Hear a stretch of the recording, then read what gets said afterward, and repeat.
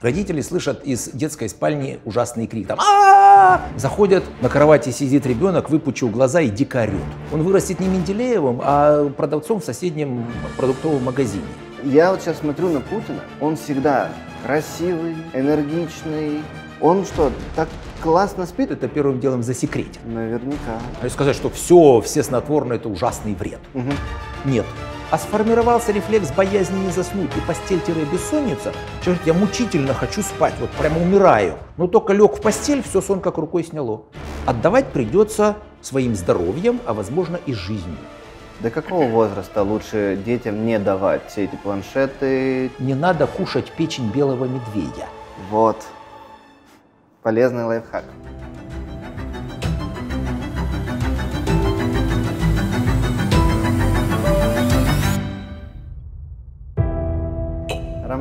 Добрый день.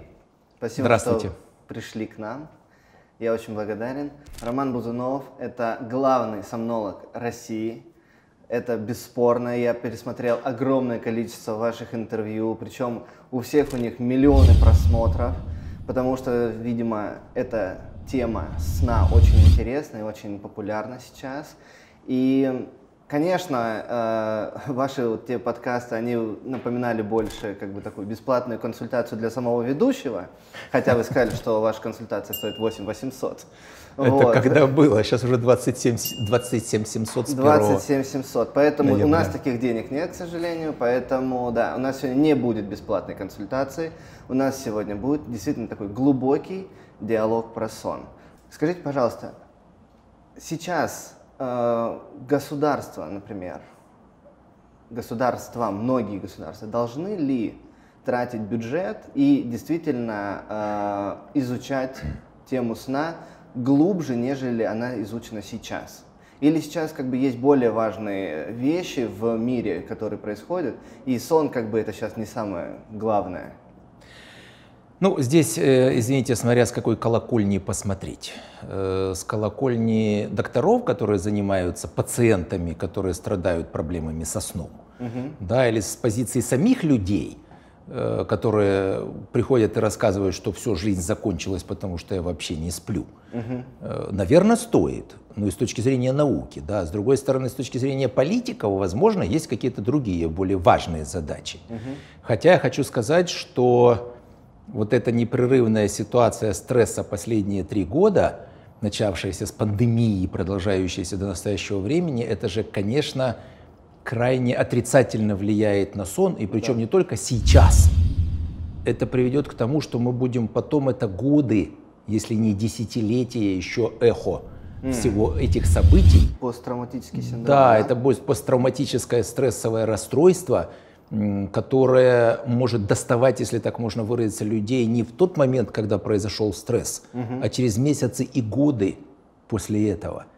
И это достаточно тяжелое расстройство, которое не очень просто поддается медикаментозному лечению. Нужна целая система и врачей, и социальных служб, и родственников, которые должны понимать, как чувствуют себя эти люди да. в посттравматическом расстройстве. Ведь Вообще-то недаром вот наше государство, я так понимаю, задумалось об этом, потому что сейчас, допустим, приказ Минздрава был вот весной или на начало угу. лета, что э, психиатром угу. может стать любой практически врач, не пройдя ординатуру два года обучения после института, там, после университета, а 500 часов профессиональной переподготовки. Угу. Ну, то есть, чтобы можно было сформировать когорту психиатров к тому да. времени, когда эта ситуация сильно обострится. Это будут квалифицированные специалисты? Тут понимаете как, а вот э, во время Великой Отечественной войны, когда готовили хирургов за два месяца, угу. и причем они даже еще были не врачами, а там студентами старших курсов медицинских институтов, понятное дело, что, как там говорили, у каждого хирурга свое кладбище – да, и понятно, что поначалу, э, увы, приходилось, ну, человек делал массу ошибок. Наверное, и здесь так. Ну, слушайте, а после института уж давайте медицинского, ты выходишь, ты вроде думаешь сначала, что ты так много всего выучил, но попадаешь в реальную практику скорой помощи. Да. И я помню это, этот ужас свой э, первого дежурства во время ординатуры. И я же думаю, а что ж меня 6 лет учили, если я ничего не знаю? Понимаете да. как?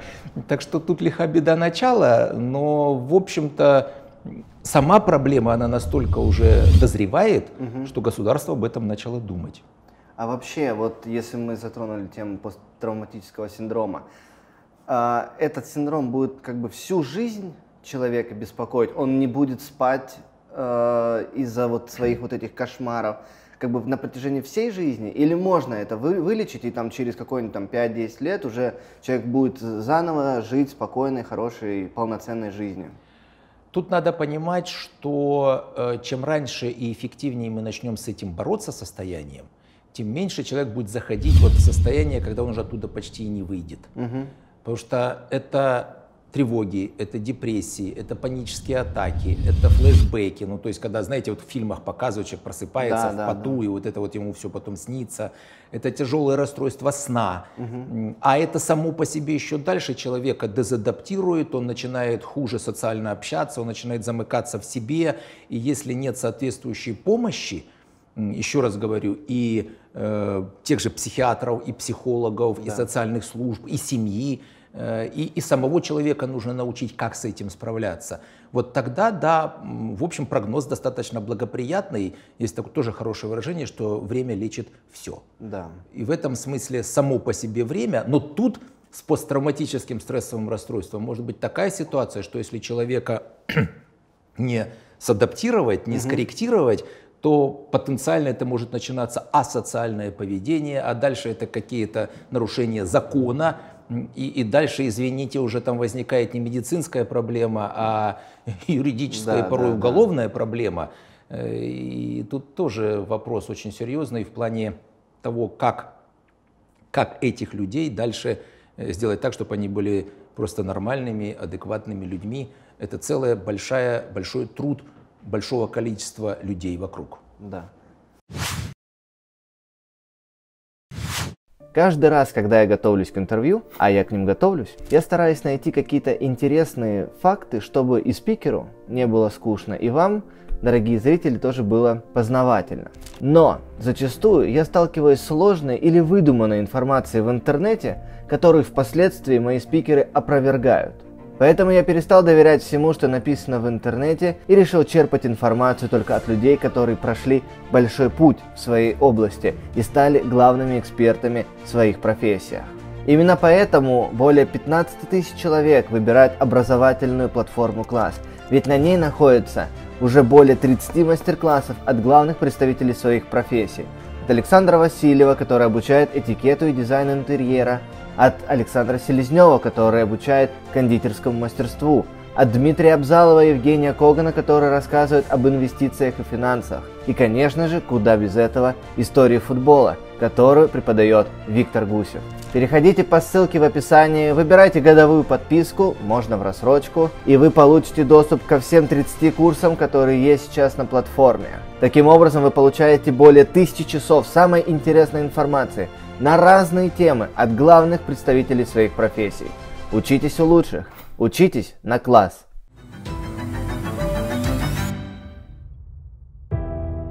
А если мы говорим про детей, откуда у детей посредством там все эти кошмары, страшилки, они боятся спать сами. Я говорю про детей, не которые там слышали взрывы бомб за окном или там попадали в какие-то, а обычно просто дети, которые спят каждый день. И вот когда их э, там образно перекладывают в собственную кровать, они прибегают, мама, мама, я боюсь, вот э, я про таких детей. То есть э, как вот им быть?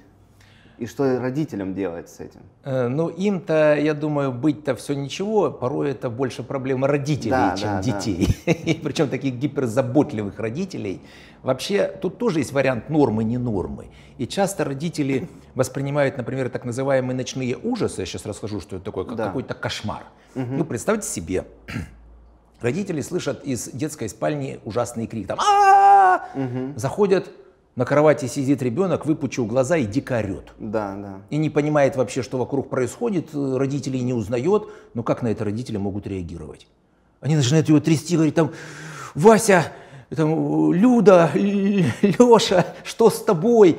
Да, этот ребенок потом просыпается вот в этом остатках ужаса, не понимает, начинает узнавать родителей, их испуганные лица, и вот это само по себе еще дальше ребенка, так сказать, э, вызывает страх. Да. На самом деле, это так называемые ночные ужасы, они не совсем понятно, почему возникают, но это, известно, что они возникают в период, допустим, выраженных эмоциональных каких-то переживаний ребенка. Угу. Например, поход в детский садик начал ходить, или в школу пошел, угу. или экзамены какие-нибудь, особенно в ранних классах. Ну, то есть стресс какой-то. Такой некий стресс, но интересно, что если этого ребенка не будить, вот просто погладить по головке, уложить, он сам успокоится, заснет, он с утра помнить ничего не будет. Он будет абсолютным ангелочком, и никаких у него проблем с этим не будет. И это больше проблема родителей, которые там беспокоятся по поводу этого ребенка, а они его начинают таскать по докторам. А ты ж только приди к доктору, доктор обязательно, ну, мало того, что назначит обследование, там какой-то МРТ головного мозга, а этого ребенка сложно засунуть, потому что он начинает дико орать, потому что его засовываешь в этот неизвестный прибор. Этому ребенку начинают делать наркоз. чтобы сделать МРТ головного мозга, это, потом да. энцефалограмму, и этот ребенок ходит по докторам, он уже этих докторов начинает всех бояться, то есть это само по себе может потом ночные ужасы вызывать. То есть здесь порой стоит просто подождать, да. и все это пройдет. А если не пройдет? То есть если, например, случилось, и вот уже там месяц, каждый день там или через день он просыпается или там кричит э, от вот этих кошмаров. Э, здесь понятно, что у каждого свой тип нервной системы, он у ребенка тоже свой. И есть так называемые предрасполагающие факторы, когда достаточно возбудимая нервная система. И в этом смысле тогда нужно смотреть на то, как можно поведенчески скорректировать. Может быть, знаете, те же родители. В первом классе ребенок уже там ходит в школу, три секции, э, да, английский язык, какой-то хинди, который сейчас всех заставляет учить. И, и, и понятно, что это просто перегруз нервной системы ребенка. И нужно да, как-то да. подумать родителям, ну ограничьте, пожалуйста, эту бедную нервную систему ребенка, успокойте. Угу. Физическая нагрузка очень целесообразна. Следующее, смартфоны. Это же просто бич уже сейчас э, знаете, как, как это было, как картинка такая, когда маленький ребеночек там три года подходит к окну, Э, смотрит в окно, потом начинает вот так вот пальчиком пытаться раздвинуть, увеличить картинку. Что да, там, да, да, то да. он уже научился, знаете ли, на это, вот этим жестом на смартфоне. Угу. А это тоже постоянное возбуждение нервной системы. И далеко не все там эти мультики, которые он смотрит, они такие веселые и жизнерадостные. Иногда да, там, знаете, да. все друг друга гоняются, пытаются съесть. Да. да, и в общем, эта детская психика тоже может плохо переваривать. То есть здесь уже нужно смотреть самим родителям, может быть, консультантом по детскому сну или консультантом, психологом детским, ну, уж тем же, в конце концов, психиатром, но только адекватным, которые не сразу начинают этого бедного ребенка там нейролептиками кормить. Да, да. Так что тут тоже вопрос такой. Э, как правило, это все э, такие варианты развития нервной системы, и просто иногда это просто бывает перегруз, угу. который нужно немножко ограничить степень нагрузки, и, соответственно, ребенок себя начнет чувствовать лучше.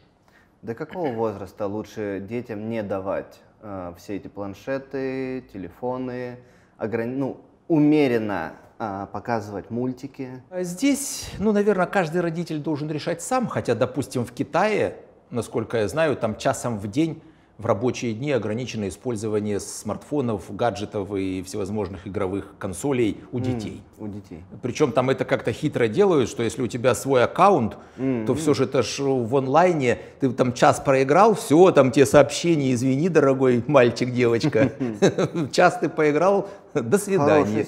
Ну, в общем, да, это э, на государственном уровне прямо решается.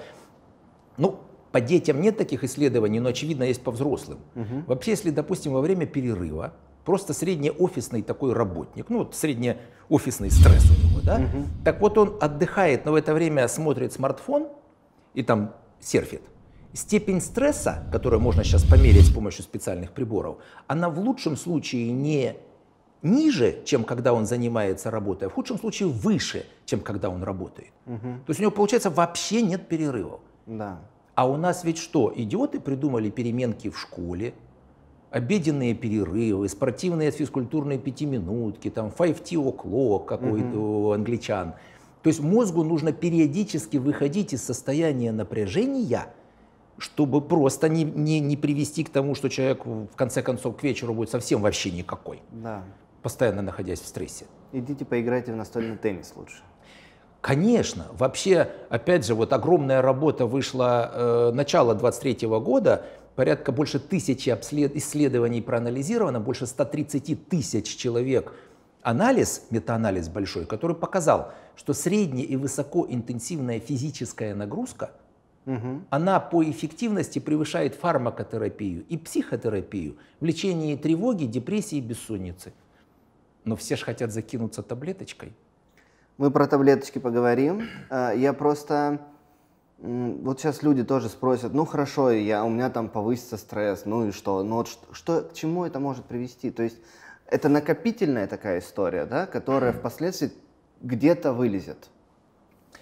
Абсолютно однозначно. Э, Я хочу сказать, э, я, ко мне бывает приходят достаточно серьезные бизнесмены, там, политики и так далее, и так далее. Но так, волей судеб, я все-таки 30 лет отработал сначала там, в четвертом главном управлении, потом управление делами президента. И сейчас я профессор кафедры там, Центральной государственной медицинской академии. Э, Ну, просто вот по долгу службы мне приходится и приходилось сталкиваться с такими Да. людьми. И часто они говорят, а что бы сделать, чтобы сократить сон? Ну, чтобы я больше работал, и больше всего успевал и меньше спал. Мгм. Дело в том, что сон – это генетически определенное состояние. Мгм. Я говорю, а давайте будем через раз дышать. А давайте будем меньше водички пить. Да. Или кушать перестанем. Чем это закончится? Ну, М, Некоторые стараются меньше есть. ну, если это не анорексия в итоге, да, да? да, да, да. Так вот, э, и я им говорю, этим людям, что, знаете, это как брать кредит в банке. На какое-то время вы можете больше поработать, Да. но отдавать придется своим здоровьем, а возможно и жизнью. Есть тоже много достаточно серьезных работ, которые показывают, что если хронически нарушен сон, это сокращает значимо продолжительность жизни. Вот вы готовы, например, пожертвовать своими пятью годами жизни, чтобы просто сегодня чуть-чуть больше успеть. Более того, это тоже огромное исследование, допустим, такой компании McKinsey было 2016 года, которое порядка 80 тысяч бизнесменов оценивали. Так вот, э, когда человек не высыпается, он начинает терять такие некие высшие функции нервной системы, как прогнозирование, как анализ, как эмпатию, то есть понимание других людей. То есть он начинает э, немножко хуже оценивать ситуацию, чего чрезвычайно важно там и политикам, и бизнесменам. Еще Билл Клинтон сказал, что самые глупые решения я совершал тогда, когда был не выспавшийся. Но самое печальное, что человек в этой ситуации еще не понимает, что он уже неэффективен. То есть он уже принимает неэффективные решения, а он думает, что он еще пока еще все еще, так сказать, готов что-то решать. Вот в чем беда. Я, кстати, когда был на вашем сайте, зашел на ваш сайт, мы его здесь подпишем. А, Там есть такой раздел у вас «Знаменитости». И э, среди этих знаменитостей был Михаил Горбачев, а, ну, Ширвинд, Хазанов и так далее. А, Давай, ну, я понимаю, что, возможно, Ширвинд, Хазанов ваши э, как бы, до, до сих пор действующие пациенты, поэтому про них не будем. А Михаил Горбачев, он действительно, что у него были какие-то проблемы со сном, что он э, обращался к вам? Ну, знаете, сейчас не тот период гласности. Да и вообще, собственно говоря, э, ну, я, может, немножко по-другому отвечу. Вот когда умер э, Брежнев, Да. и тогда была такая вот э, ситуация, Чазов рассказывал, чем он болел и от чего он умер, его лечащий доктор рассказывал, от чего он умер. Ну, там, собственно говоря, скорее всего, был передоз барбитуратов, ну, который он активно принимал, да. Но все-таки некое мое внутреннее э, состояние души, даже те люди, которые, увы, уже ушли, э, я э, могу говорить, что да, я их так или иначе где-то там встречал, поговорить. Просто встречали или прям лечили? А, ну, я их консультировал, я бы так сказал. Хорошо, ну просто чуть-чуть со стороны зайдем. Да. Это а, они хотели больше спать или наоборот, как-то, вот как вы сказали, наоборот, меньше спать? Ну, здесь э, ситуация такая, что про Бориса Николаевича просто это вся открытая информация, да, э, что Э, он у нас в Барвихе, когда я там работал в Барвихе, долго достаточно лечился. И э, когда приехал Дебеки его консультировать, возникло подозрение насчет э, апноэ сна или синдрома обструктивного да. апноэ сна. Да, и, а так получилось, что фактически в России практически никто этим не занимался, кроме там нескольких да, человек, да, да, включая да. меня.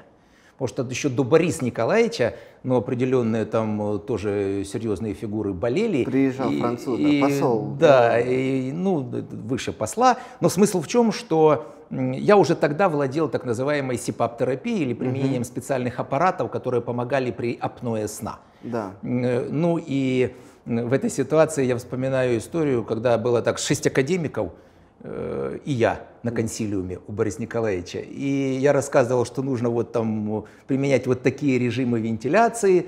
И главное, мне вопросов никто никаких не задавал, потому что они не совсем себе представляли, о чем я вообще говорю.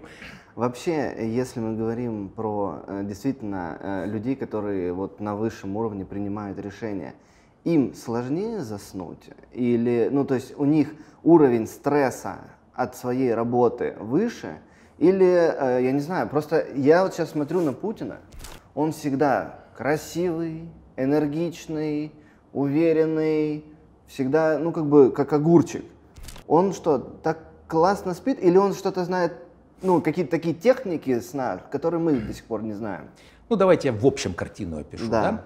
Первое, есть предрасполагающие факторы. У кого-то тип нервной системы такой, что он, не знаю, там, руководит миллионами людей, Э, миллиардами и не рублей, э, и, в общем-то, ему нервной системы его хватает, чтобы переносить эти стрессы. Угу. А кто-то вышел на дорогу, собачку там вон задавило, да, или скандал в магазине, и все, у человека там три дня бессонницы. Так что это предрасполагающие факторы. Но смею вас уверить, что если человек в процессе вот этой ситуации со стрессом не будет предпринимать каких-то определенных усилий по борьбе с этим стрессом, очень быстро можно выгореть. Я тоже наблюдал массу там и больших людей, и политиков, которые вот в ноль выгорали. Угу. То есть бросали все, ехали в деревню пасти корову. Так один мне экс-министр говорит, ну встал я в понедельник, э, говорит, не хочу проводить коллегию. Ну и уехал. Ну, сейчас, раньше немножко проще было из министра уходить, чем сейчас. Вот поехал в деревню, Если позвонил, попал, сказал начальству, говорит, не хочу идти на работу. Ну вот, ну конечно, немножко это утрировано, но да, именно да. так было. И здесь Э, фактически последние 10-15 лет я учил людей тому, как справляться с этим стрессом. Есть разные концепции, и в частности одна из них, это самые последние, вот года три, так называемый deliberate calm, или преднамеренное спокойствие. Мы, когда заходим в состояние психологического стресса, мы не совсем понимаем, что мы туда зашли. Угу. Вот я, может быть, так немножечко пространнее объясню, но будет понятно. У нас не было проблем, пока не было абстрактного мышления. Была первая сигнальная система, которая реагировала на внешний стресс, стимул. Как угу. правило, была это или опасность, или добыча. После этого, когда возникал стимул, происходил выброс стрессовых гормонов, но за этим всегда следовала мышечная работа. Догоняй, убегай, борись. Да. И выделившиеся стрессовые гормоны разрушались с работой мышц, стресс заканчивался – ну, а более того, животное не думало, оно не руминировало, а что там было, а что будет, а будет ли за мной опять лев гнаться. Закончился стресс, все, мило, зебра это пасется, там уже в ус не дуй. Да. Да? Но когда появилось абстрактное мышление, а мозг не придумал никакой другой реакции на мнимый стресс, он выбрасывает ровно те же адреналин, норадреналин и потом кортизол, но за этим не следует никакой мышечной работы. Угу. И вот эти выделившиеся гормоны фактически начинают свое разрушительное действие на организм. Более того, тоже интересно, что у нас эволюционно заложилась э, определенные следящие системы за тем, как мы себя физически нагружаем. Ну вот мы начали там догонять, не знаю, там э, известно, что гепард может бежать со скоростью 130 км в час всего 30 секунд. Угу. Если он пробежит минуту, у него возникнет некроз мышц. Ну, не догнал, так хоть согрелся, да? Это когда петух бежит за курицей, да? Но не догнал, такой согрелся, да? Ну, курица тоже, наверное, сильно будет убегать от него, но если ты убегаешь реально, там ты, наверное, не будешь там следить уже, что там с мышцами, потому что эти могут съесть. Но все-таки у нас в мышцах просто начинает продуцироваться банально молочная кислота, и они начинают тупо болеть. Да. Ну, то вот знаете, качали когда-нибудь, да? Да, ну, там я- 10-20 раз, потом уже что-то болит. По мне сейчас не скажешь, но когда-то я что-то качал, да. Вот. И следующее. У нас, когда разрушается АТФ, это запасы энергии в организме, у нас продуцируется молекула аденозина, которая говорит мозгу, что у нас запасы энергии снизились, и нужно отдыхать. То есть у нас есть следящие механизмы за уровнем нагрузки и перегрузки физической. Но когда у нас появился психологический стресс, у нас не появилось никаких механизмов слежения за психологической нагрузкой. Мы заходим в этот стресс раздумия о прошлом, о будущем или о настоящем, но мы не понимаем, какой у нас уровень стресса. И только тогда, когда у нас начинает болеть голова, повышаться давление, проблемы с кишечником, там, не знаю, аритмией, э, депрессиями, тревогами и так далее, мы начинаем чувствовать. То есть получается, что мы не готовы длительно переносить психологический стресс. Я почему сделал такое длинное вступление? Что нам чрезвычайно важно сознательно, периодически выходить из состояния психологической нагрузки, даже если мы не понимаем, что мы там. Почему называется преднамеренное спокойствие. Да. И фактически вот этим людям, которые э, занимаются какими-то серьезными делами, я их обучаю то, как 4-5 раз в день выходить из состояния психологической нагрузки методами контролируемого дыхания, да, методами медитаций, как это не банально и просто звучит, Да. методом переключения на физическую нагрузку. Причем есть разные виды нагрузки. Можно, допустим, знаете, я часто на- наблюдаю в тренажерном зале, когда человек сидит, крутит велосипед и смотрит телефон. Ну и как там уровень стресса снижается? Да, Да, ничего не да. снижается. Есть виды нагрузки, которые они требуют не только физической нагрузки, но еще и э, концентрации. Вот я, например, люблю экстремальное вождение. Где-нибудь на каком-нибудь этом Не на полигоне. улицах Москвы. Ну да, на полигоне. И когда ты там отрабатываешь полицейский поворот, смею вас заверить, не думаешь о да. В это время нельзя будущем. смотреть новости, да? Да, да, да, знаешь, одной рукой крутишь, а другой там новости смотришь, да? И через час все, абсолютно свежая голова. А причем еще ты мокрый абсолютно, потому что это очень Да. сильная физическая нагрузка.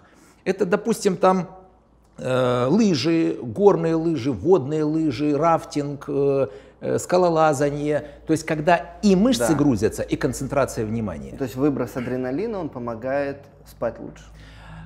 разрушение этого адреналина при физической нагрузке. Не сам выброс адреналина помогает жить лучше, Да. а когда ты его разрушаешь. А вот если ты его не разрушаешь, знаете, как-то мне рассказывал один пилот военный, бывший, что э, есть такая готовность ноль.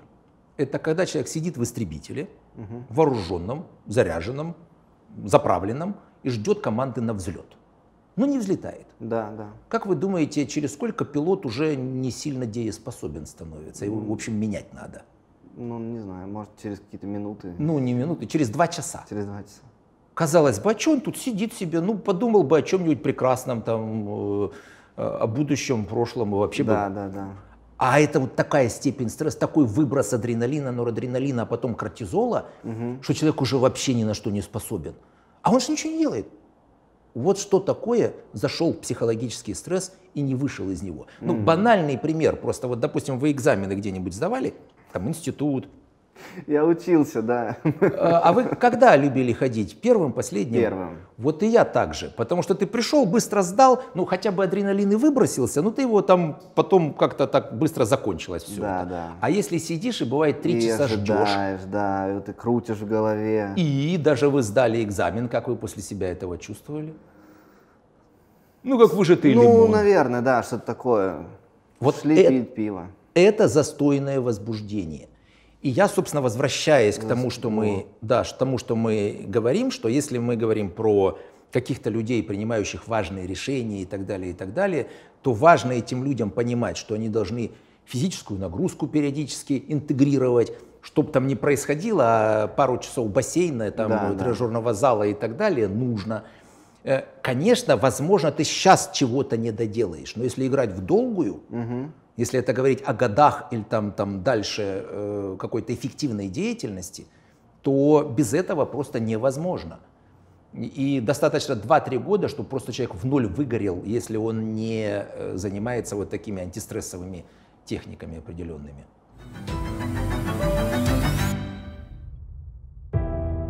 А если мы вернемся ко сну, вы говорите, это действительно малоизученная э, история, всего 50 или 70 лет им занимаются, хотя уже Аристотель э, писал свой труд о сне, и там он затронул такую интересную вещь, что, ну, там он давал понятие, но он сказал то, что все живые организмы, у которых есть глаза, видят сны, включая и животных, и рыб, и, возможно, даже, ну, про моллюсков он как бы ничего не сказал, он говорит, мы немножко не знаем, но в то время, мне кажется, это абсолютно как бы не научно доказано, это был абсолютно такой выброс. Это как сейчас сказать, во сне, мы просто этого не знаем, но оказывается мы во сне связываемся с космосом, и в принципе мы можем получать от инопланетян информацию, которую мы можем потом впоследствии в жизни использовать. Но это вот опять, это вот я как Аристотель сейчас себя веду.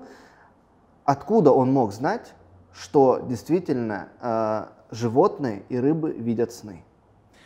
Слушайте, ну это могло быть просто озарение. Э, это же порой какие-то высказывания не требуют научных доказательств. Ну, чтобы гипотезу сформулировать. Угу. Другое дело, что потом ее нужно доказывать и так далее, и так далее. Но э, придумать что-то, это может оказаться потом истиной, почему бы нет.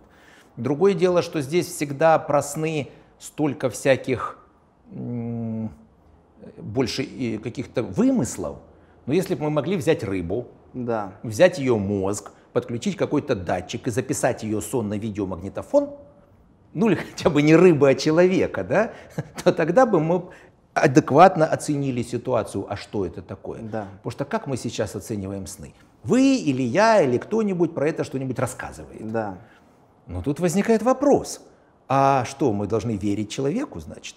А что он там придумает? Истинно ли это сон, или это какие-то его психологические какие-то э, э, там, барон Мюнхгаузен, который нам сказки рассказывает. Да, да, да. И вообще, вот тут приснилась Дева Мария, ты, значит, святой. А тут приснились зеленые человечки, тебя, значит, в дурдом. Угу. Но только вопрос еще судьи кто То в есть этой таких ситуации. экспериментов сейчас нету? Э, понимаете, сейчас есть масса экспериментов, которые пытаются, анализируя нейросетями мозг, энцефалографию контролируя, биохимические процессы в мозге, метаболизм мозга, оценивать, как-то пытаться оценивать, что такое человеку снится. Угу. И даже уже с вероятностью больше среднестатистической ошибки можно, допустим, сказать, что вот тут человеку снится машина, а тут человеку снится человек. Угу. То есть уже разгадывает нейросеть вот эту ситуацию. Но чтобы это было прямо, знаете, в цвете, 8К, и так далее. Причем я, я даже подозреваю, что как только это кто-то изобретет, это первым делом засекретят. Наверняка. Но вы представляете, это же можно посмотреть, что снится там политикам, генералам и так далее. Интересно, да. Но более того, а вы представляете, приснилось что-нибудь политнекорректное? Так человека могут и в тюрьму посадить за это. Так что Ну, это, да, через да. 50 лет посмотрим, я думаю, на это. Нет, а если мы все-таки говорим про животных, вернемся чуть-чуть животным, откуда мы тогда знаем, что им снятся сны? А дело в том, что у нас есть определенные процессы физиологические, которые являются отражением сна. А, вы имеете в виду, бежит собака? Э, да? Первое – это определенные энцефалографические изменения. Я уж не буду вдаваться в подробности про всякие волны. Хорошо. Да? Второе, и это у животных тоже, у нас, у людей и у животных, когда снятся сны, глазки бегают. Угу. То есть вот мозг, видно, что он спит, тело вообще обездвижено, а под закрытыми веками глазки туда-сюда шевелятся. Вот это, собственно говоря, одно из проявлений, быстрое движение глаз во сне, что это фаза сновидений. Угу. И следующее, это вот, да, действительно, э, обычно есть такое понятие нейрохимического блока, когда нам снится сон, угу. и мозг там что-то себе представляет, но на тело эти сигналы не проходят, и у нас активный мозг в парализованном теле. Но у детей, у маленьких животных этот блок еще не совсем созрел, и то, что э, мозг видит, частично проявляется, допустим, там в мимике, угу. в жестах каких-то, в движениях. Э, знаете, вот опять же гиперзаботливые мамаши, что бывает? Ну, раз в месяц мне обязательно кто-нибудь что-то такое пишет. Доктор, у меня ребенку три года, он начал там выпучивать глаза, там что-то гулить или там разговаривать даже, и там щеки надувать во сне. Слушайте, а это не, не что-то ужасное, это не психическое расстройство. А еще идет докторам, доктора говорят, ой, давайте исключим эпилепсию и так далее. Это вот так проявляется рэм-сон, сновидение. Потому что частично команды с мозга доходят до мимических мышц, да там как собачки бегают, там угу. лапками скребут, там скулят. Вот это проявление сновидений. Но, еще раз говорю, кардинальная проблема, что мы не можем это сновидение вот так вот физически куда-то записать, воспроизвести, да, да. чтобы объективно оценить. Меня иногда дочь смеется во сне. Ну и прекрасно. Главное, чтобы не плакала. Не, пока не плачет, слава богу. Я знаю то, что самый сейчас в рекорде Гиннесса 264 а, часа человек не спал. 11 это, суток. Да, да.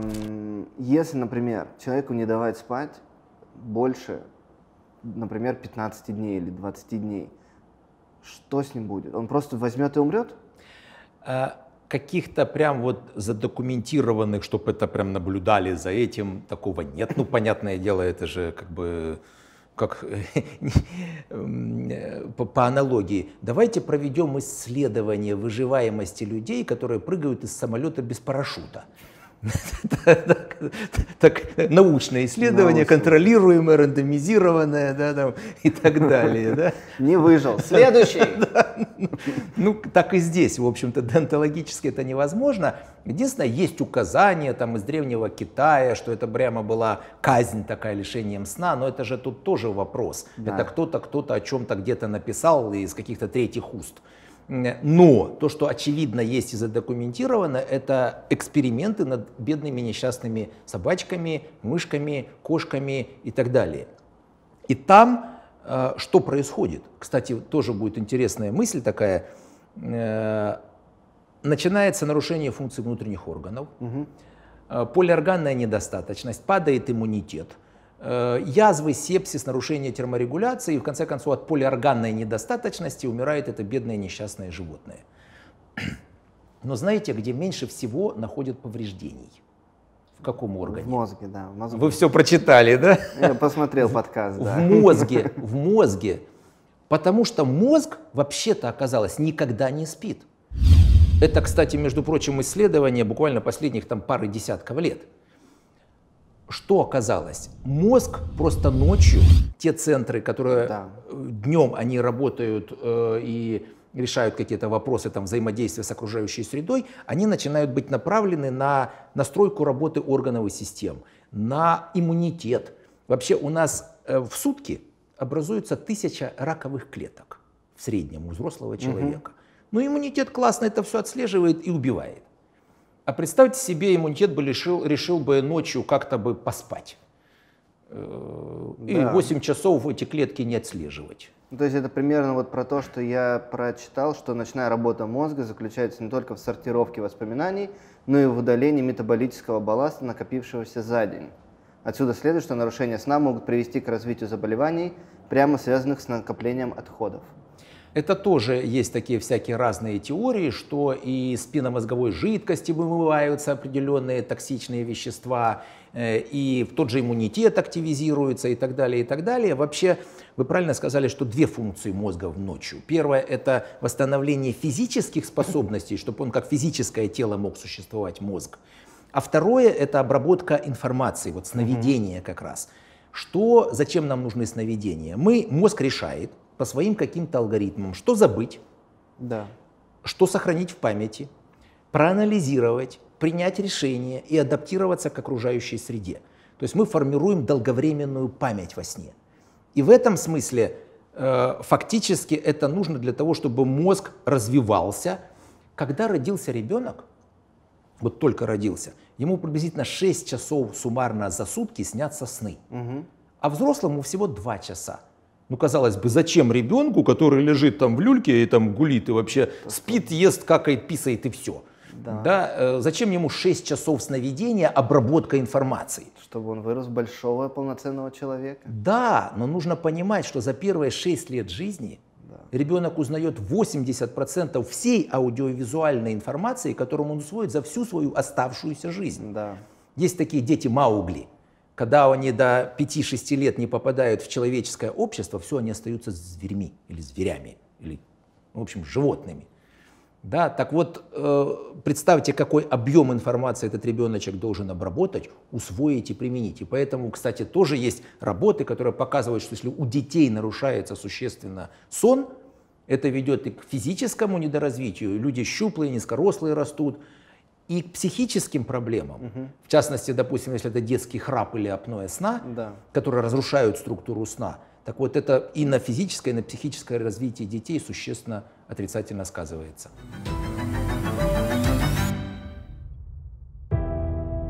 А, мне в детстве удалили аденоиды. Сейчас я знаю то, что аденоиды не удаляют. Нужно ли детям э, удалять аденоиды, чтобы они лучше спали? Ну, здесь не только аденоиды, но еще и миндалины. Миндалины. Это как бы там два, э, две таких вот лимфоидных образования, которые могут ухудшать дыхание. Аденоиды в основном затрудняют носовое дыхание. Угу. А, здесь палка о двух концах. Вот еще лет 30-40 назад всем все подряд удаляли. Да. И меня, меня тоже, я помню эту до сих пор картинку, связывают, значит, там такой, такой хирург подходит, там прям живьем все это вырезает, да, мороженое, правда, потом дают. Ну, это такая картинка, я вам скажу, это конечно. Это мороженое было не сильно вкусное. Да-да-да-да-да-да. А, и это было неправильно, когда всем удаляли. Да. Но потом произошла обратная ситуация. А вот же это ж важная лимфоидная ткань. А она же потом к 18 годам уменьшится, и оно так и происходит. И, в общем-то, даже сама ситуация, может, пройдет. Угу. И что начало происходить? А более того, у нас еще появились, извините, частные центры. Я ничего против частных центров не имею медицинских. Я имею. Ну, не, не имею, да? Но я Но могу что, иметь. Ну что, бывает, да, бывает что. Вот ты пришел, большие аденоиды, я потом о последствиях сейчас расскажу еще, да, но их можно удалить и фактически вылечить ребенка. И все, он будет здоров. И, кстати, вот сейчас масса работ, которые показывают, что вот то, что там 15-20 лет назад говорили, что если удалить аденоиды и миндалины, это будет нарушать иммунитет, это там дети какие-то недоразвитые вырастут, ничего подобного.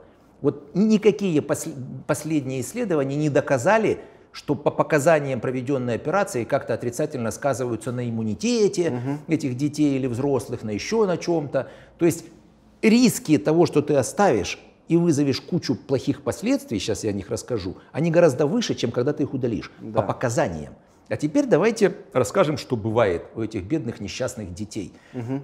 Не дышит нос. Значит, ребенок должен дышать открытым ртом, ну то есть у него постоянно открыт рот.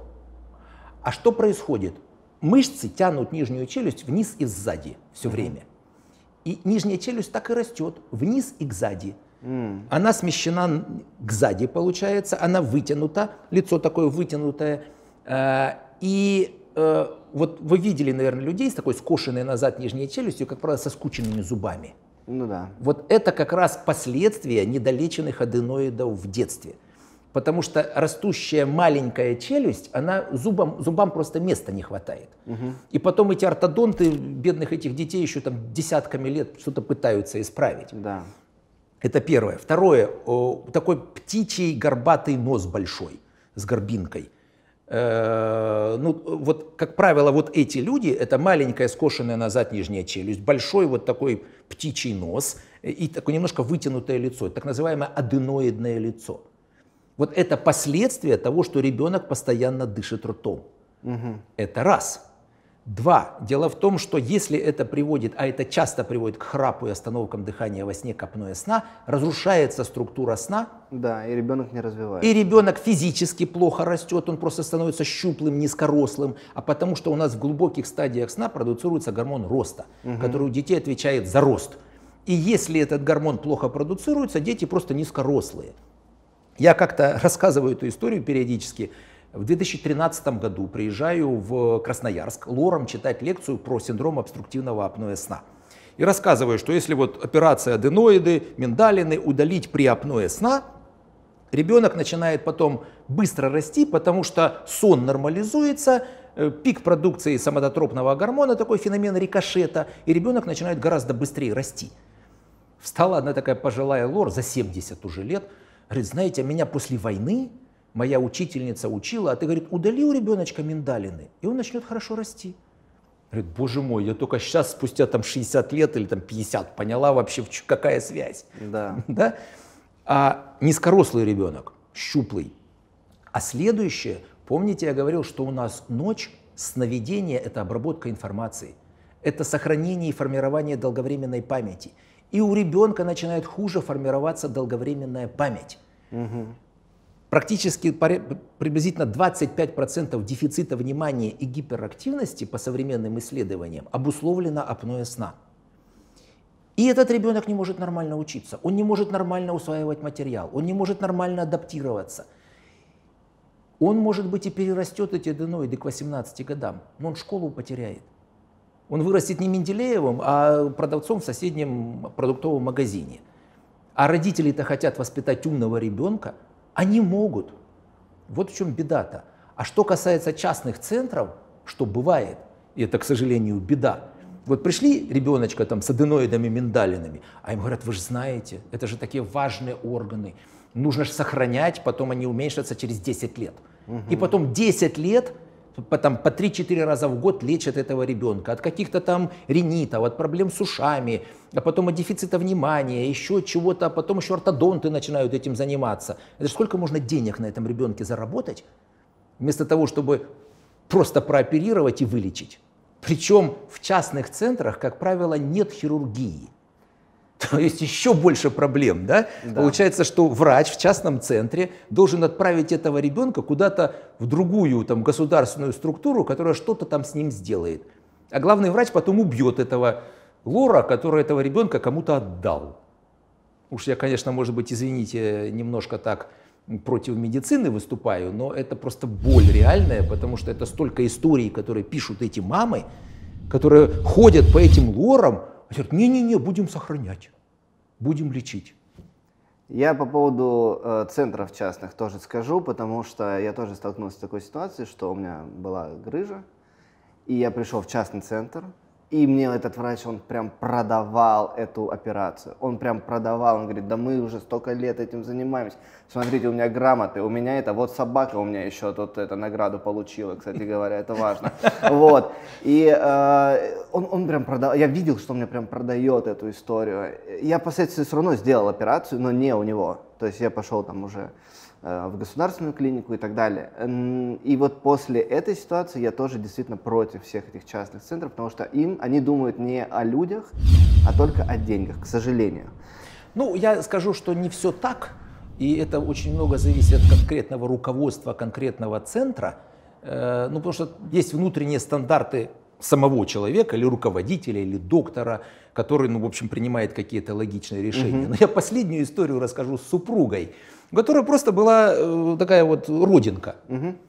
И она там, недолго думая, пошла в, поблизости, возле дома, там и в Барвихе, в Одинцово, в центр, ну вот эту родинку просто удалить. Угу. Причем, как бы меня не спросив, э, я же все-таки доктор, я сам только исключительно по знакомству хожу, да. Угу. Ну и потом мне звонит из этого центра, говорит, слушай, а у меня тут заподозрили какой-то онкологический, онкологи, что это значит какая-то родинка, которая вот, ну, знаете, там невусы, это да, же. Да, да, да, и, и мне, меня, значит, послали к онкологу, онколог сказал, что значит, о, это теперь нужно весь организм обследовать, а вдруг у вас метастазы куда-то. В общем, они чуть ли не на 100 тысяч написали, что нужно сделать. Я говорю, так, быстро давай оттуда. Я, значит, звоню своему знакомому дерматологу, а в принципе там просто вот такой специальной увеличительной лампой можно посмотреть и с очень высокой вероятностью оценить, ну, есть подозрение или нет. Да. Ну, короче, она пришла туда, он посмотрел, да, все хорошо, тут же чикнул, все. А так, представляете, там еще месяц бы обследовали, а потом сказали, ну, слава богу, у вас, значит, это не рак давайте вырежем. А человек бы еще сказал, спасибо, спасибо. В общем, это жуть просто какая-то бывает. Вот. Полезный лайфхак.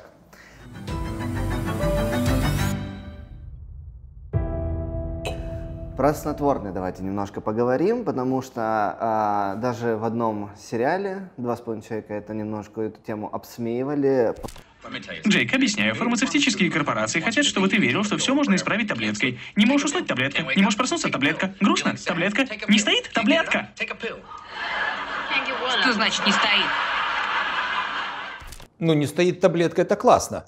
Есть же, э, э, ну, как известный препарат, да, не будем рекламировать Да, да, его, да. который прекрасно эту проблему реально решает. Младший, э, как раз сын вот этого героя, который произносил эту фразу, говорит, что не стоит. Понятно. Да. Все-таки по поводу снотворных. Это что-то хорошее, что действительно помогает людям, или наоборот, это их убивает? Давайте мы, э, э, как бы, чтобы не выплеснуть, как говорится, с ребеночком, э, с, с- с водой ребеночка, да, сказать, что все, все снотворные это ужасный вред. Нет. Но неправильным назначением, неумеренным дозированием любое лекарство можно превратить в яд. Ну вот так, да. Теперь сначала, когда снотворные реально помогают и нужны. Острый стресс. Острая бессонница. Ну, не знаю, какая-то вот э, там на работе ситуация, выгнали вас с работы, развод, еще что-нибудь такое, да, которое спровоцировало реально острую бессонницу. А сама по себе бессонница, если вы не спите, она к чему приводит? К тому, что организм еще сам хуже функционировать Да, начинает. Да. это мы уже сейчас как раз обсуждали, что если человек не спит, то он еще больше становится подвержен стрессу, иммунитет падает, он начинает болеть респираторными инфекциями всевозможными. Известная же ситуация, что стрессанул, вот тебе герпес обострился. Это вот классика, скажем так, влияние стресса на иммунитет. Поэтому если есть реальный провоцирующий фактор, который вызвал острую бессонницу, в этой ситуации вполне себе можно назначать препараты, симптоматически давая человеку сон, ну, чтобы он выспался банально, а соответственно он лучше начнет переносить этот стресс. Я люблю аналогию в этом смысле. Вот, допустим, вы заболели острой респираторной инфекцией, ну не ковид какой-нибудь, просто там вот ОРВИ, да, и у вас температура 39, и вам плохо. Ну что, почему не выпить жаропонижающее, чтобы вам стало немножко лучше? Да? Но с пониманием того, что в принципе организм все равно с этой ситуацией справится, и вы через 7 дней поправитесь. Знаете, как говорят, если лечиться, то 7 дней, а не лечиться неделю. Так что э, симптоматически облегчать бессонницу, особенно при острой бессоннице, это вполне себе адекватная э, э, ситуация назначения снотворных, там, успокаивающих или даже транквилизаторов, ну, не знаю, смерть близкого человека, например, да, и у человека острая там реакция на стресс, да, да, вполне себе можно лечить человека. Но другая ситуация, опять же, по аналогии с температурой. Представьте себе, э, приходит человек к доктору, говорит, доктор, а у меня не три дня 39, а у меня три месяца, ну, три месяца не доживет 39, там месяц 39. Ну что, доктор просто начнет сбивать температуру, или он все-таки поймет, что есть какая-то причина, которая не прошла через 7 дней? Может, даже рак. рак, абсцесс, туберкулез, э, не знаю, там, ВИЧ, СПИД и еще куча проблем, там, которые могут давать высокую температуру, которая не проходит. И что назначит доктор? Он назначит обследование. Да. Он начнет искать причину этой температуры. Так вот, если мы говорим о хронической бессоннице, которая длится, ну, стандартно это считается больше трех месяцев, вот это значит уже действует какая-то причина, которая не позволяет самой по себе пройти этой бессоннице. И здесь назначать снотворные, это все равно, что при вот той же температуре не уточнять причину, а просто э, снижать ее, но человек в конце концов Да, помрет от причины. Да. И в этой ситуации, вот что я делаю как сомнолог, я как раз став- пытаюсь поставить диагноз и ставлю диагноз. Мы делаем полисомнографию. Это мы смотрим, а что у нас непосредственно со сном происходит, стадии сна, циклы сна, структуру сна, нарушение дыхания во сне, двигательные нарушения смотрим. Я очень тщательно оцениваю анамнез. Ну, знаете, вот буквально месяц назад была совершенно смешная ситуация. Ну, она как смешная, она грустная. Приходит ко мне пациент, жалуется, что докторам ходил и жаловался год, что у него проблемы с засыпанием. Час, два, три не может заснуть. Его посмотрели два невролога, назначили какое-то свое неврологическое лечение, потом не помогло, его посмотрел психиатр, назначил, э, поставил ему тревожно-депрессивное состояние, с утра назначил антидепрессант, вечером нейролептик, ну это, я скажу, такое очень серьезное лечение, а он все равно плохо засыпает. Ну и вот уже четвертый доктор я. А я люблю, извините, анамнез расспрашивать. Вообще у меня консультация первичная полтора часа. Да. За 27 тысяч. Ну, слушайте, э, ко мне же просто простые пациенты не ходят. Ну, и вообще не простые, но и не те, которые там вот... э, Я уже как вот второй, третий доктор Вы обычно. будете среди знаменитостей, если будете пациентом Ну, Романа. да, по крайней мере, что-то где-то. Помимо всего прочего, я узнаю, что год назад он ушел на удаленную работу, и у него разрушился режим. Он начал спать безобразно абсолютно, но он купил кофемашину еще и начал 8-10 чашек заварного кофе в день выпивать. А кофе, естественно, ухудшает процесс засыпания. А предыдущие три врача об этом вообще не спросили. Вы такой доктор Хаус. Ну, слушайте, э, я все-таки 30 доктор лет, Глазунов. 30 лет этим занимаюсь, и я понимаю, где, где порыться. Понимаете как? И вообще, когда стал сомнологом, это же ведь тоже всего там несколько дней меня поучили. Потом я уже учился и в Штатах, и в Швеции, и в Германии, и в Израиле, и у нас там всякие там какие-то, не, ну, последние больше, наверное, м, 15 лет я сам уже учу. Да. Но я много где поучился. Но поначалу это, конечно, была беда, когда я не мог понять, от чего человек не спит. Но сейчас я, наверное, немножко лучше разбираюсь. Так вот, я ему отменил кофе. Ну, правда, первые пару недель ему было плохо, просто феномен отмены был, Ну голова да, болела, давление низкое, сил нет. Но все, через две недели он начал прекрасно засыпать, вообще без никаких проблем. Здорово. Возможно, легко э, слезть потом со всех этих снотворных, с таблеток?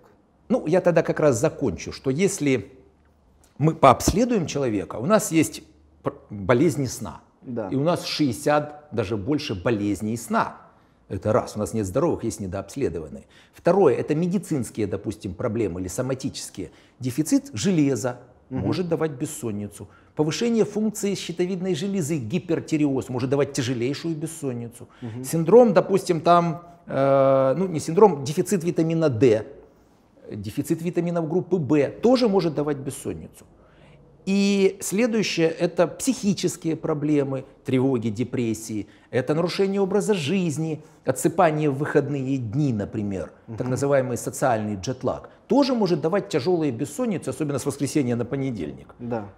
А, И вот я сначала ставлю причину и максимально пытаюсь устранить причину, и тогда не нужны будут снотворные.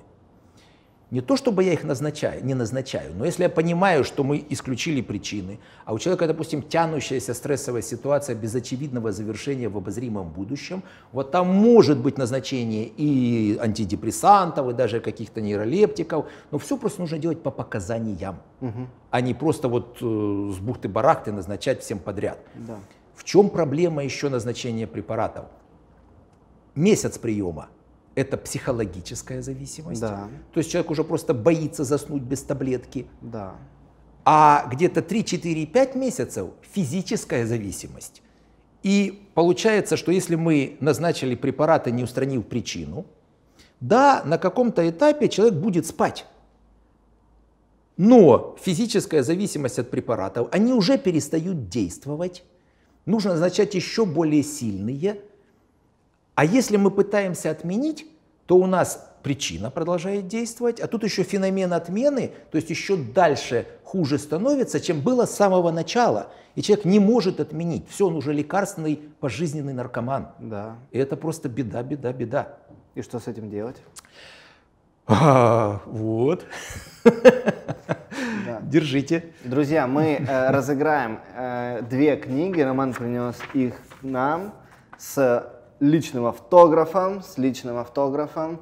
А, поэтому участвуйте в конкурсе, я расскажу, что надо будет сделать, и, возможно, эти книги будут у вас.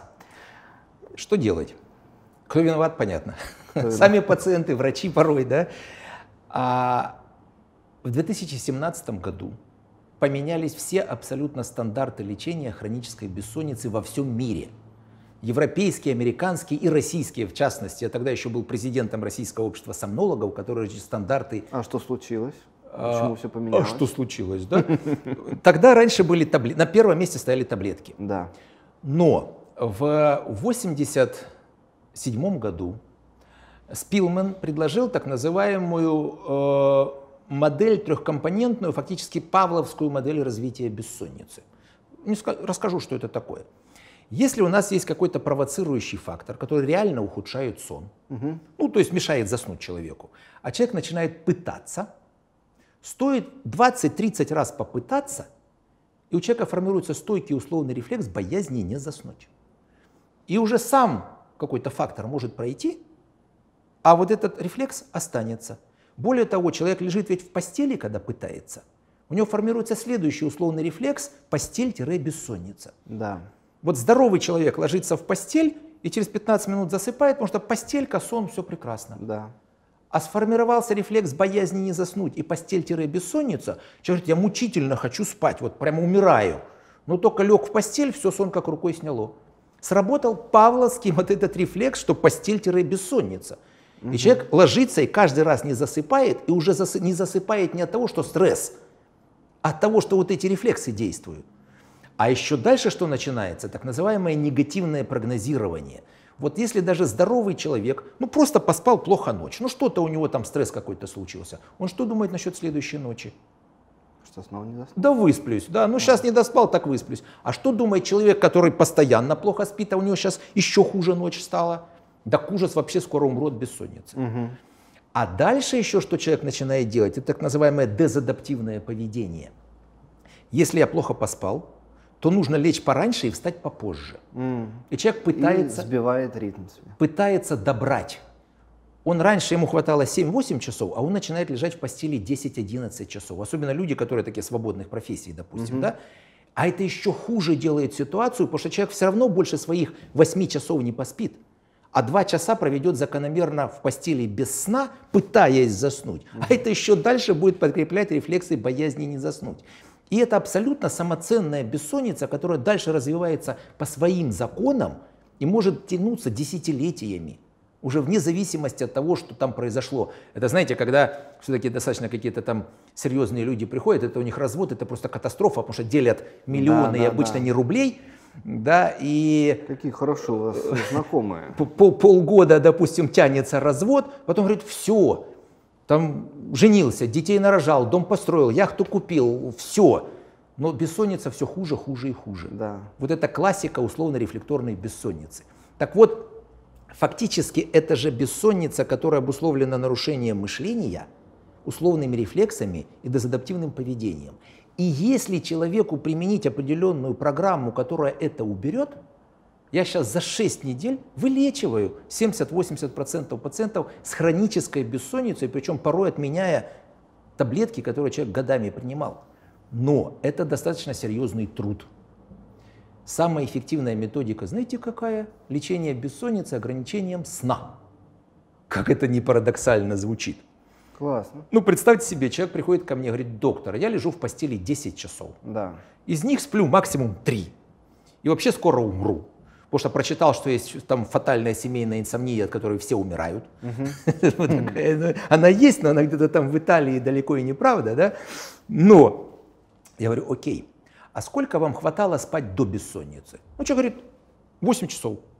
Я говорю, прекрасно. А давайте мы уберем еще 2 часа и оставим вам 6. Вы все равно спите 3. Давайте вы в постели будете лежать максимум 6 часов. Человек говорит, ну ладно, хотя, конечно, странно. Вы все равно не спите, да? Смею вас заверить. А что мы делаем? Мы фактически делаем реально человеку, создаем дефицит сна.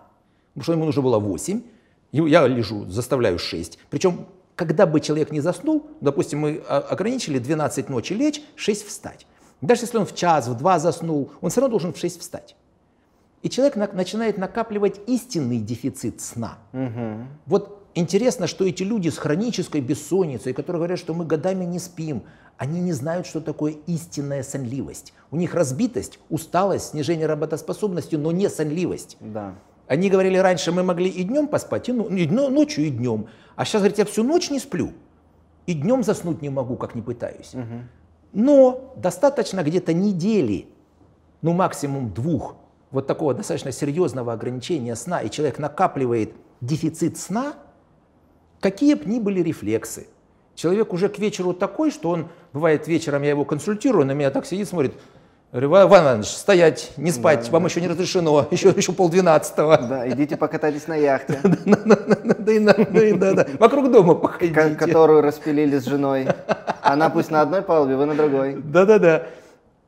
Так вот, накопление дефицита сна перебивает все эти рефлексы. И человек э, на каком-то этапе просто падает и засыпает. и достаточно 10-15 раз заснуть не боясь, угу. у человека начинает формироваться стойкий положительный условный рефлекс. И где-то через 3-4 недели это кардинально меняется психика. Человек говорит, доктор, я уже просто вот жду, когда же я вот, вот, вот это время вы мне разрешили, а у меня 15 минут, это просто мучение какое-то, пока я не упаду в эту постель. А причем это все контролируется. У человека висит трекер, да, который да, показывает, да, когда да, человек да, спит, да, не да, спит. Да. И э, причем у него жесткое такое правило, если он три раза нарушит, все, уволен угу. из программы. И вот проходит пара недель, человек говорит, я все, я уже просто умираю. Я говорю, хорошо, добавьте 15 минут в постели. Доктор, вы просто спасибо. Это же такое счастье еще 15 минут поспать. Это при том, что он раньше 10 часов лежал в постели и да, вообще да, говорил, да. что он не спал. И мы фактически формируем новый условный рефлекс, что постель – это сон. И 3-4 недели человек начинает спать, не думая, что у него сон какая-то там проблема. Это кардинально меняет мышление. Он перестает бояться, даже если он сегодня плохо поспал, он думает, ну завтра отосплюсь.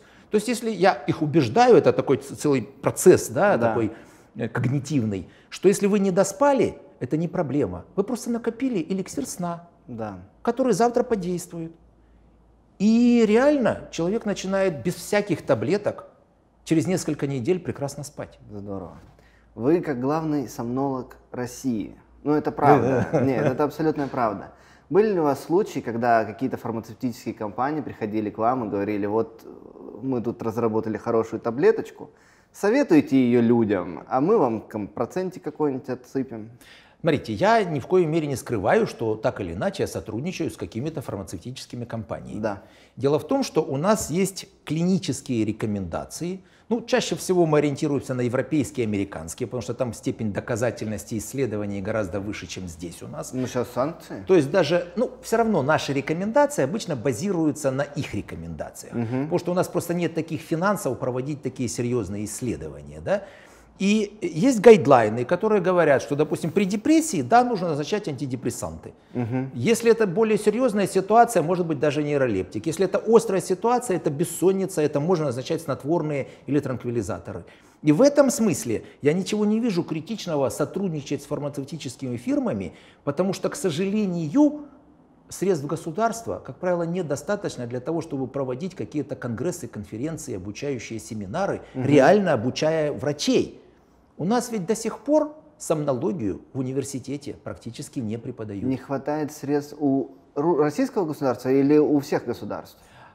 Слушайте, ну у нас особенно не хватает. Я вообще-то почитал проект госбюджета да. на следующий год. Вот у нас в этом году, если не ошибаюсь, было 0,9% на здравоохранение, а будет 0,8% на, на, на все здравоохранение. На здравоохранение. Да, это при том, что среднеевропейский параметр где-то 4-5%, иногда до 10%, американцы 16% госбюджета на здравоохранение тратят. То есть, э, ну, к сожалению, э, увы, э, проведение конгресса в основном ложится не на государство, да. а на какие-то частные структуры, которые так или иначе помогают врачам проводить эти конгрессы. И я ничего плохого в этом не вижу. Другое дело, что да, если я не вижу какого-то уровня доказательности, но все-таки ориентируясь больше на зарубежные какие-то базы данных, там PubMed или что-нибудь такое, то и мне говорят, а ты просто говоришь, что это хороший препарат, я говорю, извините. Ну вот тут срабатывает какая-то некая... Ну то есть вы отвечаете, да, за тех, кого вы советуете? То, что, то, что я советую, реально я отвечаю, потому что я читаю, извините, там э, эти клинические рекомендации, на основании этих клинических рекомендаций уже какое-то сформируется клиническое мышление, опыт и так далее. Хотя опыт, конечно, тоже чрезвычайно важный аспект, который помогает ну, как-то адаптировать клинические рекомендации к реальной жизни. А вы сами когда-то ну, пользовались этими таблетками, которые советуете людям? Слушайте, пользовался. Да? Пользовался. Во-первых, допустим, если, ну не буду там конкретные... Это называть... как эксперимент был или это действительно у вас были какие-то проблемы? А, например, перелеты. Mm-hmm ну, сейчас я как-то уже так э, немножко лучше к своему организму отношусь. А, допустим, раньше, когда летал в Красноярск, Новосибирск, там ты летишь 4 часа, и вычитается еще 4 часа, потому что ты на восток летишь. Да, да, ну, грубо да. говоря, ты сел в там, 12 ночи, а прилетел в 8 утра. Да. Э, и можно, по идее, в самолете 4 часа поспать. Да. Ну, потому что следующий день уже работать надо, да, потому что ночь выпала. Есть короткодействующие снотворные, там короткодействующие Z-гипнотики, которые действуют 4 часа. Угу. Я перед, ну, главное еще только не, не в салоне ожидания, вернее, не в, в аэропорте, а проспать можно уже перед посадкой в самолет, да, выпиваешь, садишься, отключаешься, через 4 часа включаешься, пошел работать. Это, но вы при этом сказали, когда меньше заботился о своем э, организме. То есть это не полезная история. Смотрите, ну это же что-то такое, что уже э, выбило организм из э, нормального функционирования. Да. Вообще это же не так, что, знаете, как просто покушать, а давайте будем просто кушать снотворные таблетки. То есть всегда нужно очень осторожно к этому подходить, взвешивая пользу и риски, Да. а не по каждому поводу. Тут смотрите как, и как я с пациентами говорю, что минимальный риск развития зависимости это где-то 6, ну максимум 8 приемов в месяц. М, Ну, у человека, допустим, какая-то стрессовая работа, какие-то совещания, перед которыми нужно выспаться. Потому что если ты плохо поспала, у тебя реактивный сон, у тебя это как с детства формируется, когда ребенок перед экзаменами, допустим, плохо спит. Так и во взрослом состоянии. У него какое-то там совещание важное, человек просто всю ночь не спит, а потом на совещании мало что соображает. Вот в этой ситуации можно ситуационно применять препараты, да, но с пониманием того, что у тебя остальные дни ты их не применяешь. Да. А когда человек выходит уже за 10, а тем более 15 приемов в месяц, это очень высокая вероятность срыва в постоянный прием, развития психической и физической зависимости. И здесь надо всегда понимать, что если ситуационно, да, вполне возможно. Или сбивка часовых поясов. Допустим, ты перелетел в Америку или куда-нибудь во Владивосток. Э, Есть мелатонин, который можно попринимать, и, соответственно, ты быстрее подстроишься под Можно, то да? время. Да, да, то есть это ну, посоветуйтесь своим врачом, как это говорят, там Да. имеются противопоказания, да, но это вполне себе нормальная ситуация, так или иначе периодически себе фармакологически помогать. Ну вот у Ну- меня многие знакомые, они боятся летать, э, вот, и э, как бы это будет для них такой спасительной таблеткой выпить э, снотворное, заснуть, проснуться уже как бы по прилету. А, Только из-за того, что они боятся летать. Здесь по-разному можно подходить, потому что снотворный, он просто снотворный дает эффект, но не такой уж противотревожный. Просто есть противотревожные препараты, есть в конце концов транквилизаторы, да, э, Ну тут это что-то жесткое, по-моему. Ну, почему жесткое? Нет, Ну, нормально? нормально. То есть, опять же, только надо понимать дозировку, нужно по- побеседовать с своим доктором, может быть, проэкспериментировать еще до перелета, чтобы потом не понимать, что эти самолеты выносить будут. Да, да, да. Ну, у нас по-другому как. А как мне пациент рассказывал, ну, выпиваю литр коньяка. Правда, Да. потом проблема с выходом из самолета. Войти-то я еще И могу. со сном, наверное, Да, потом да, да. Но э, тут еще разок. Любое лекарство нужно взвешивать пользу и риски. Да. И еще раз повторюсь, любое лекарство неумеренным или неправильным применением можно превратить в яд. Да. Э, Так как раньше было, маленькими дозами наши знахари лечили, а большими убивали. Ну вот так. Если, например, у человека, ну, он как бы нормально спит, у него нет проблем со сном и так далее, вы говорите, есть какие-то вот э, витамины и так далее, нужно ли им, ну, знаете, как вот мы живем в Москве, нам нужно витамин D больше пить, и вот э, люди покупают там всякие БАДы, таблетки, ну, витамины непосредственно их пьют. Если человек нормально спит, если у него довольно-таки все хорошо со сном, нужно ли, ну, вот как для улучшения, то есть для пущего эффекта э, какие-то витаминки, не, не, не таблетки, а именно витамин, витаминки? Здесь э, тоже есть разумный определенный подход. Да, у нас по исследованиям в жителей крупных городов 50% людей дефицит витамина D. У пожилых людей до 75% всех жителей дефицит витамина D. И поэтому профилактические дозировки, ну, фактически можно рекомендовать практически всем. Более того, еще вот то, что, чем мы дышим, это же всевозможные окислы и так далее, они нарушают там разный метаболизм, тканевой метаболизм. И даже бывает, что у нас, э, допустим, в крови э, норма, но это еще не значит, что в клетке норма. Да. Ну, потому что блокируются вот эти механизмы передачи витаминов, микроэлементов в клетку. И поэтому разумные какие-то витаминные комплексы, тот же самый, допустим, магний, который тоже обладает достаточно успокаивающим действием, витамины группы В, витамин D, там, цинк, например, и так далее. То есть разумное какое-то добавление в диету вполне себе целесообразно.